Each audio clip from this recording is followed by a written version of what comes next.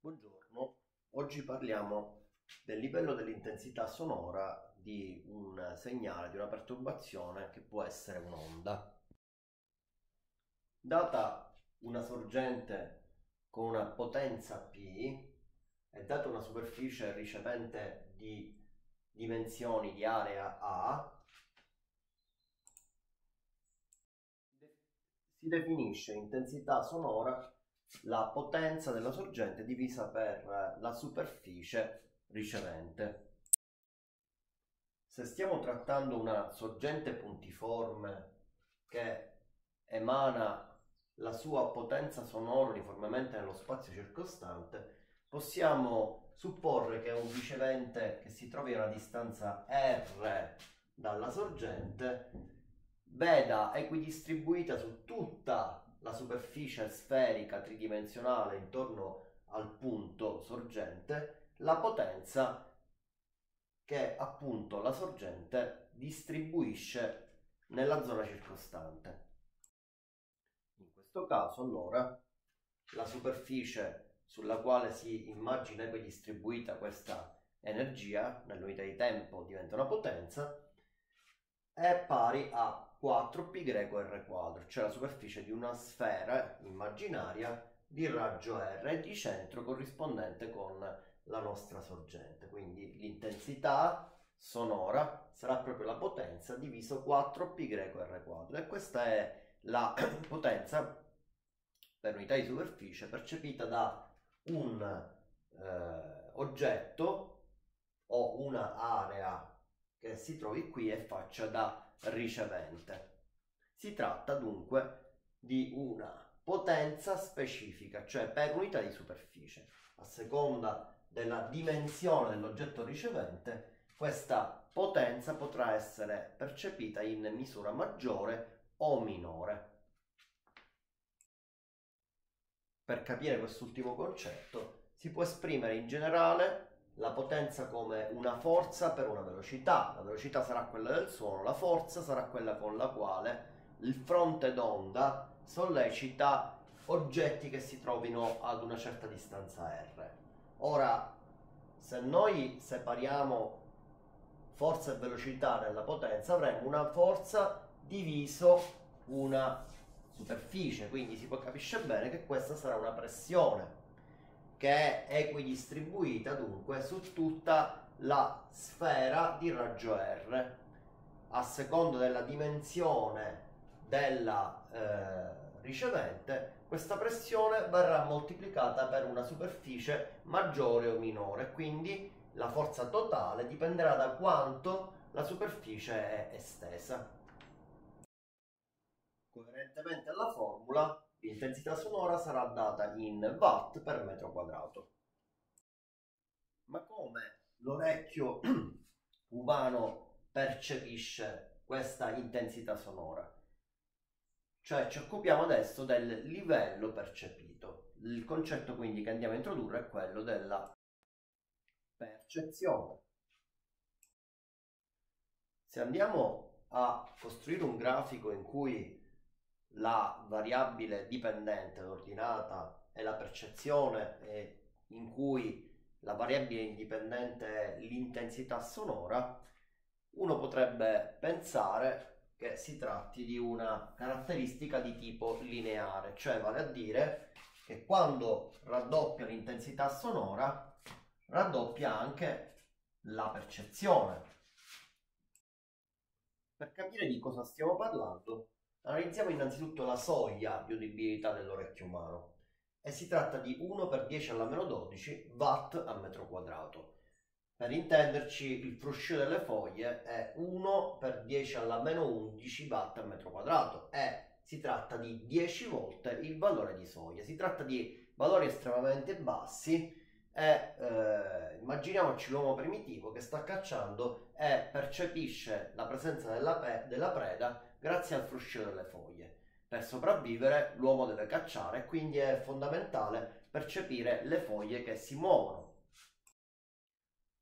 Saltando molte, eh, molti livelli sonori come esempio, passiamo direttamente al T-Rex, cioè un animale pericoloso che l'uomo fa in, diciamo, eh, maniera opportuna deve sentire per poter scappare e sopravvivere. Quindi si tratta di 1 per 10 alla 0 watt al metro, metro quadrato.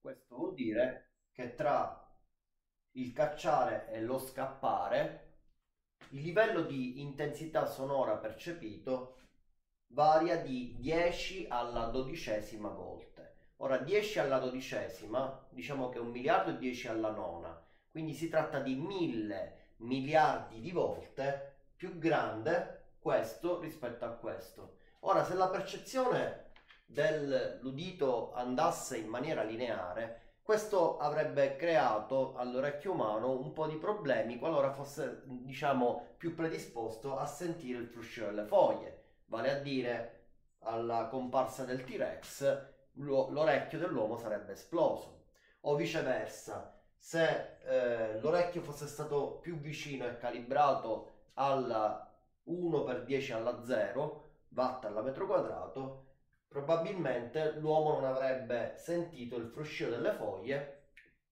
cosa che non gli avrebbe permesso di cacciare e quindi di sopravvivere. Quindi entrambe le cose eh, attengono alla sfera della sopravvivenza e per cui capiamo bene che la percezione non può essere di tipo lineare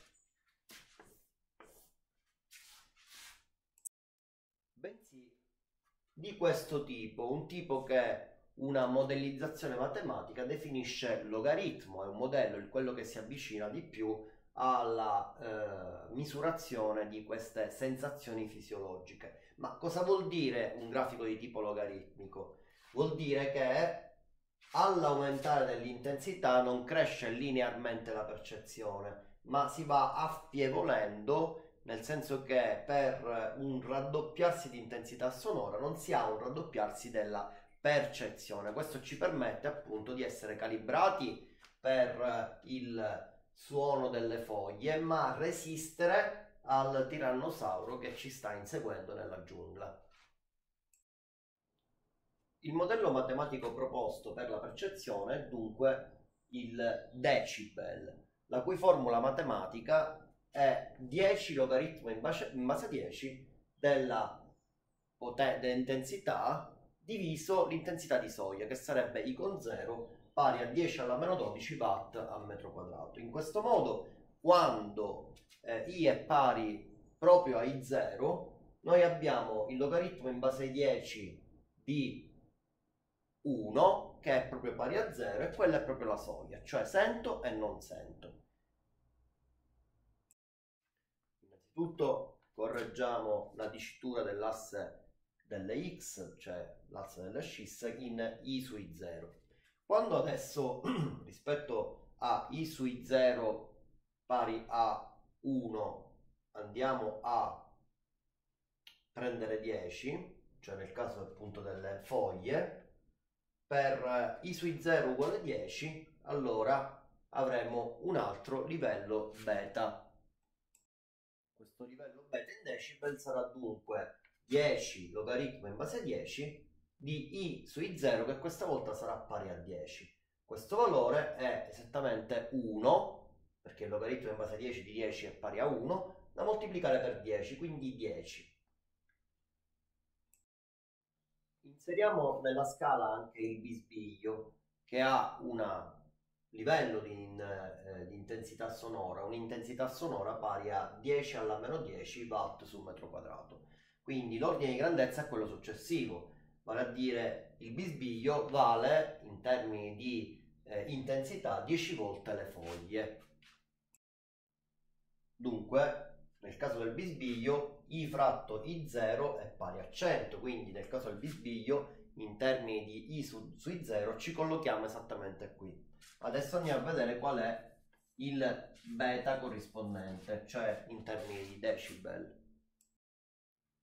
In questo caso abbiamo un beta pari a 10 logaritmo in base 10 di 100, ma il logaritmo in base 10 di 100 non è altro che 2, quindi i decibel corrispondenti al bisbiglio saranno 20. Vale a dire, mentre l'intensità sonora si è decuplicata, dalle foglie al bisbiglio, il nostro beta si è semplicemente raddoppiato, il che è eh, coerente con gli esperimenti di eh, fisiologia perché eh, pare che appunto la, il rumore percepito eh, dall'orecchio umano per il bisbiglio sia di un eh, livello semplicemente doppio rispetto alle, vo- alle foglie e non di 10 volte.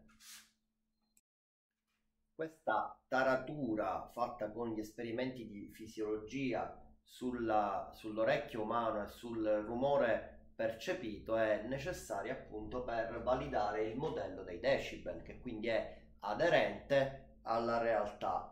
Eh, una cosa molto importante appunto è che l'orecchio umano si comporti in questa maniera è anche associato sostanzialmente alla sua sopravvivenza perché eh, questa logaritmicità dell'andamento gli ha permesso di sopravvivere alla, eh, al mondo naturale percependo una ampissima gamma di eh, potenze sonore appunto dalle minime le foglie che eh, si muovono fino alla eh, potenza di un uh, animale feroce eh, o anche di un concerto rock perché eh, in questo caso il T-Rex coincide a livello di intensità con il concerto rock.